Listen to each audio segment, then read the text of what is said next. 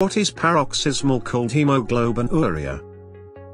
Paroxysmal cold hemoglobinuria is a cold reactive hemolysis that is characterized by IgG autoantibodies directed against red cell P antigen system.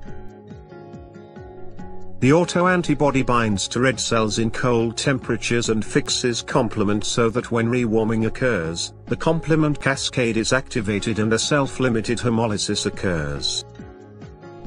Bonus trivia. An adult can sweat up to 4 gallons per day.